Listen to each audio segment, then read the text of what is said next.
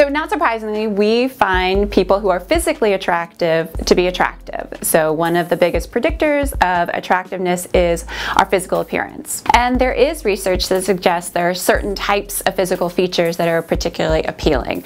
Um, for instance, very symmetrical features tend to, across different people, um, be rated as very attractive.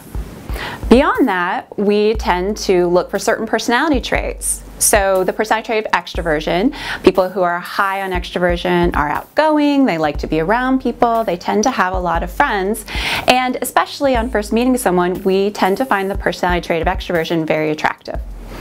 In the long run, people who are high in extroversion don't necessarily have the highest quality relationships. There we're tending to look for something like agreeableness. People who tend to get along with others, they really care about other people. That tends to be a really good predictor of what we find attractive in the long term.